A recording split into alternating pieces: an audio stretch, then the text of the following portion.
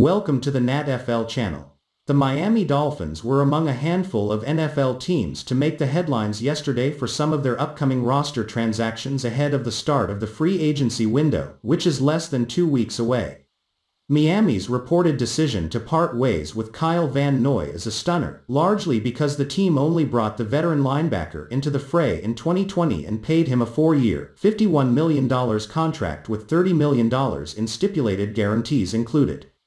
But Miami did some wise structuring of Van Noy's deal and will part ways with the linebacker after one season and having paid him just over $15 million for his services and hardly over $4 million in dead cap for the upcoming offseason. The decision to part ways with Van Noy will save the Dolphins at least $9.75 million against the cap in 2021, enough to sign a considerable talent or perhaps even two quality starters. And that's why, amid all the other excess in cap commitments the Dolphins are facing, this decision is such a significant one for the outlook of 2021. Van Noy was an as-advertised player. He was never going to blow you away but his versatility, leadership and toughness were assets to Miami's locker room in 2020. Those factors being outweighed by the financials tell you one thing, the Dolphins are probably gearing up for another aggressive run this offseason.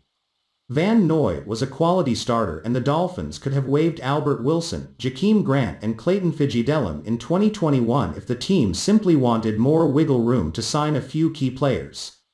This isn't that. This is a seismic change of direction from just a year ago. The Dolphins held no loyalty to their 2020 signing because it was deemed that the funds could be better served elsewhere on the roster this year. So brace yourself, Dolphins fans.